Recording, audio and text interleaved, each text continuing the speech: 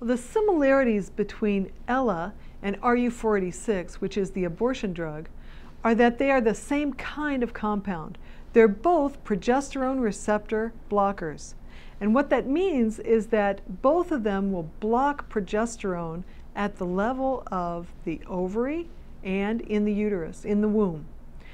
That means that both RU486 and Ella will keep the ovary from making progesterone, and both RU486 and Ella will destroy the placenta once the unborn child has implanted into the uterus.